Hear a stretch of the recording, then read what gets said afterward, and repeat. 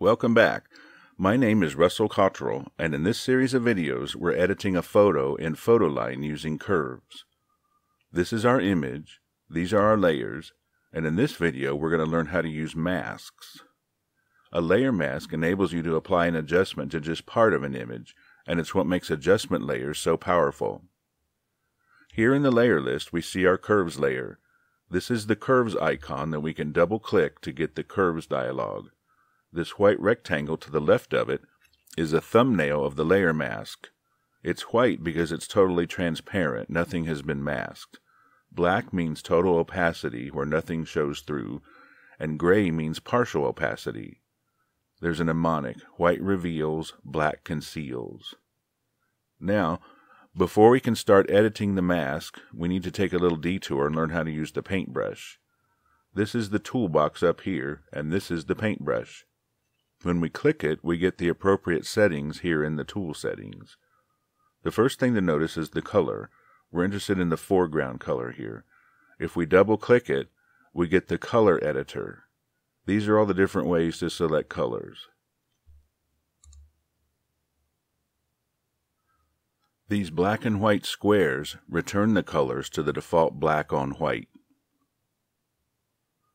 These right-angled arrows reverse the foreground and background colors, or we can just hit X for X change colors.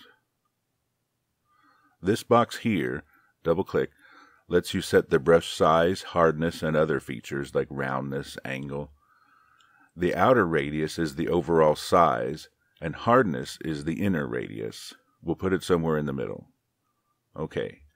Now we can see the outline of the brush around the mouse pointer and we can change its size by holding down the control key, clicking, and moving the mouse. If we have the background layer selected, we'll be painting on the image itself. And since the bear layer is above the background, we'll be painting under the bear. We can change the color,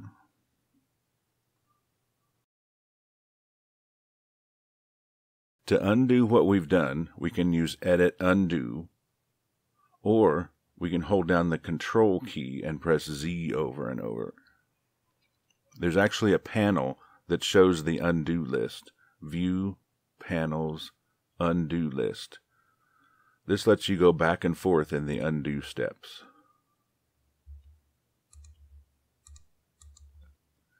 The other setting that we're interested in is the brush intensity, which is the opacity of the brush stroke.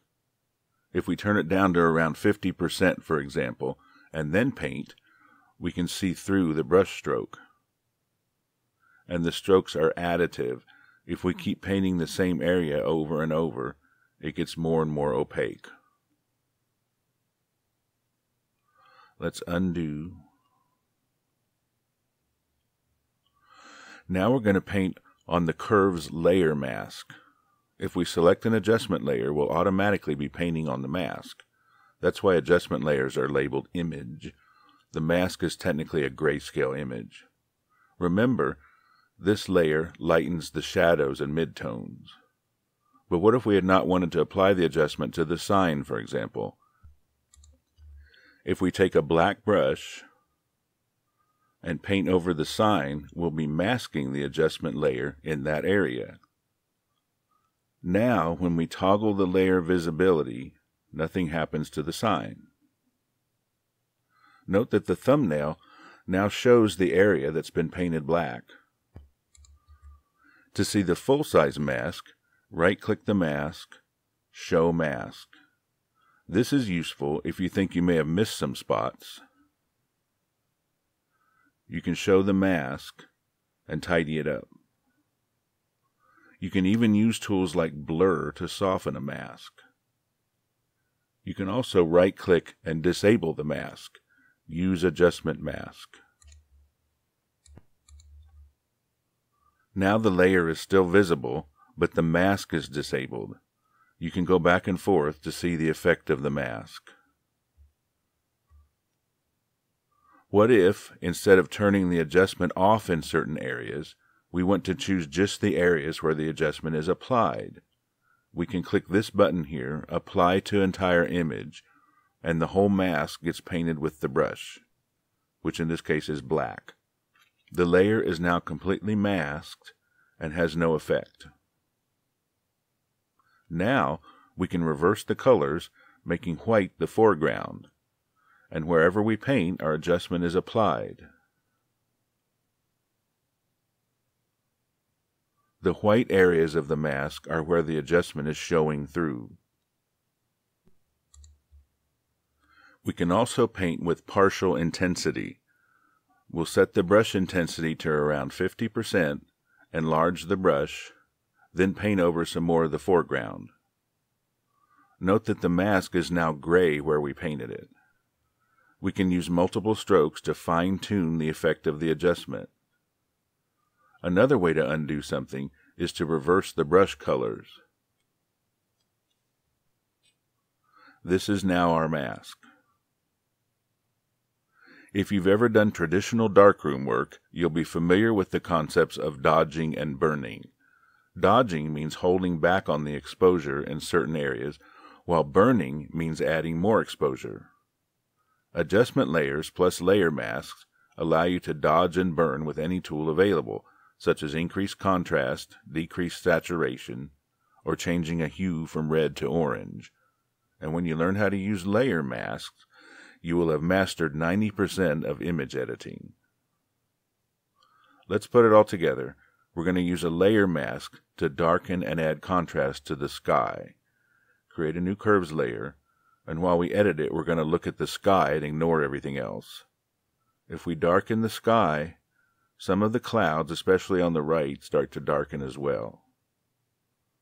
So we'll click a bright area in one of the clouds then lower the lower part of the curve. But this darkens the whole image. So we'll start with an opaque mask. Select white for the brush and apply our adjustment to the sky.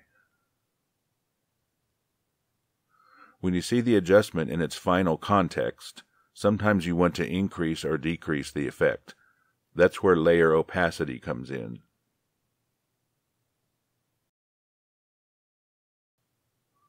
And that was layer masks.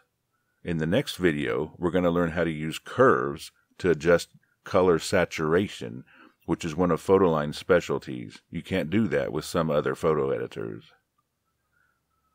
Like and subscribe to the channel if you like what you see. Visit pl32.com to download Photoline Visit russellcottrell.com slash photo slash photoline for a more in-depth tutorial on photo editing. And stay tuned for episode 3.